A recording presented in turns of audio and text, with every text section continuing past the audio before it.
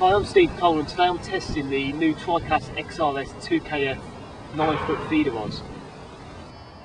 A 9 foot feeder rod is quite new in match fishing terms. Um, you know, in the past it was only really reserved for canals and drains um, when you're catching tiny little roach.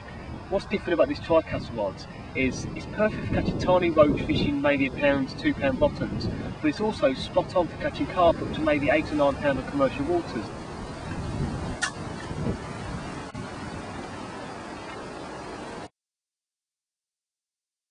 They're using a 9 foot feeder rod over your typical 11, 12 or maybe 13 foot rods.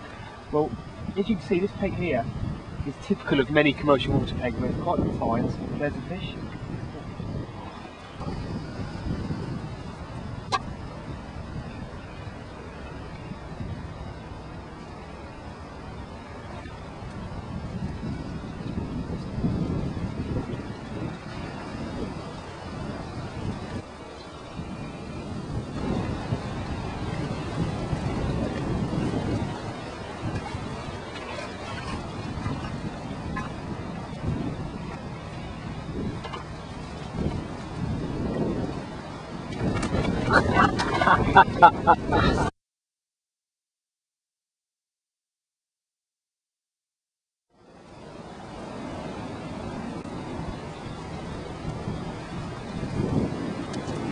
The 2KF now for four or five hours and I've caught a range of fish, anything from six ounce carp up to fishing around about five pounds.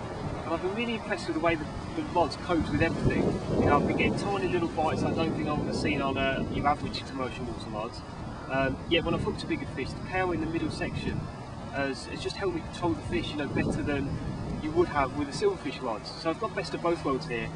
The rod costs 120 quid and it is the perfect rod for winter commercial water fishing when you really don't know what species of fish you're going to be catching next.